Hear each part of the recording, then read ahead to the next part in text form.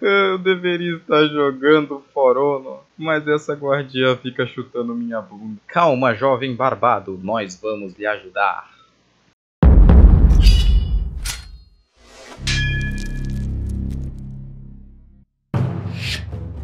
Então galera, meu nome é Chipou e este guia terá como objetivo lhe ensinar todos os básicos de lutar contra a Guardiã. A Guardiã é considerada um dos personagens mais fáceis de se jogar, e não é de forma injusta. É um personagem simples e com uma mecânica bem direta. Ela não possui golpes imbloqueáveis e também nem combos muito rápidos que você não consiga defender por reflexo. Na verdade, são pouquíssimos os golpes dela que você não consegue reagir a tempo. Ao jogar contra a Guardiã ou jogar com ela, existem três principais golpes que você precisa prestar atenção. Todos eles são fortes por si só, mas brilham realmente quando estão juntos às fintas. Então, caso você não tenha assistido ainda, lhes recomendo dar uma olhada no vídeo de fintas que nós temos aqui no canal.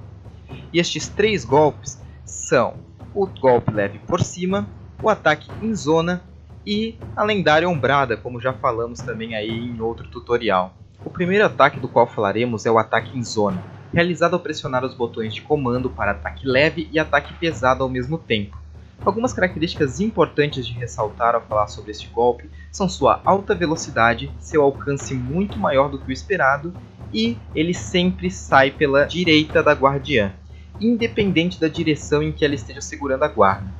E essas características juntas fazem com que o golpe seja um dos mais versáteis do kit da guardiã, sendo sua principal forma de causar dano gratuito no oponente.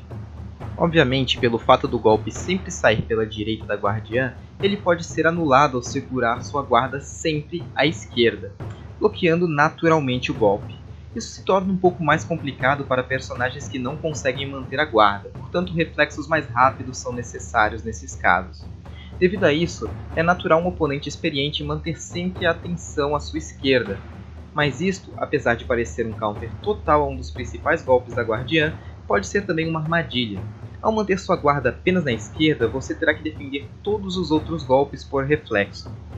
Desta forma, a guardiã poderá utilizar fintas e condicioná-la a um comportamento que pode ser abusado, conseguindo assim a abertura para iniciar um combo ou simplesmente causar um dano a mais com o próprio ataque em zona. Mas vale ressaltar uma coisa importante. Defletir o ataque em zona da guardiã deixa ela vulnerável a uma quebra de guarda gratuita, ou um golpe rápido para iniciar um combo, Além disso, o ataque custa metade da barra de estamina, tornando-se algo difícil de se abusar. O que nos leva ao próximo ataque, o golpe leve por cima. É um golpe que, assim como o ataque em zona, tem um tempo de início muito curto, principalmente quando utilizado logo após uma finta. Apesar do dano não ser tão alto, acertá-lo garante a Guardião o início de seu Vortex com a Ombrada, sendo um dos principais instrumentos para iniciar o combo. Devido à rápida inicialização do golpe, ele pode ser utilizado para punir tentativas de quebra de guarda ou golpes imbloqueáveis lentos. Este golpe, apesar de simples, realmente brilha quando utilizado em conjunto às fintas e ao condicionamento que o ataque em zona traz, pois a guardiã pode manter a guarda na posição para cima, pressionando e condicionando o oponente a bloquear golpes altos e punir com seu ataque em zona, que sempre virá pela direita da guardiã. Outra forma muito interessante e meio anti-intuitiva que o golpe pode ser utilizado é errando de propósito. Como o golpe é rápido e não possui muito tempo de recuperação, a guardiã pode, após errar o golpe no ar, iniciar uma ombrada, enganando o oponente a avançar para tentar punir o erro, apenas para ser atingido pela ombrada, iniciando o Vortex.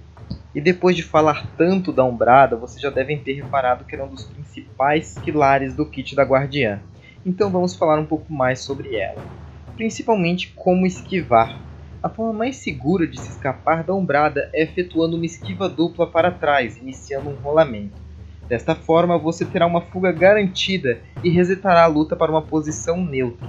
Caso você não deseje recuar, a ombrada se torna um verdadeiro pedra, papel e tesoura. Caso a guardiã prossiga com a ombrada até o final, a forma mais segura é simplesmente esquivar para o lado. Caso a guardia cancele a ombrada em uma quebra de guarda, a forma mais segura é efetuar um golpe rápido para contra-atacar ou esperar e dar um counter guard break na tentativa do oponente. Da mesma forma, é possível cancelar a ombrada com uma finta e efetuar um ataque em zona logo em seguida. A única forma garantida de esquivar desta manobra é o rolamento para trás, ou você pode tentar, como já falamos por reflexo, defletir o golpe ou apará-lo. Outros personagens, como Orochi, que possuem esquivas que atacam ao mesmo tempo, são ótimas formas de counterar a Guardiã, pois ao efetuar estes golpes, você anula tanto a ombrada completa quanto a tentativa de quebra de guarda. A única opção que a Guardiã tem de fato é fintar a ombrada e tentar aparar o seu ataque. Outra forma muito eficiente da Guardiã utilizar a ombrada é utilizando-a logo após uma esquiva. A Guardiã pode esquivar para trás, por exemplo, e iniciar uma ombrada. Você achará que ela está recuando, quando na verdade ela está lhe posicionando para iniciar o seu combo. Bom, e estes são os básicos de como lutar contra a Guardiã. Espero que o guia lhes tenha sido útil e até a próxima!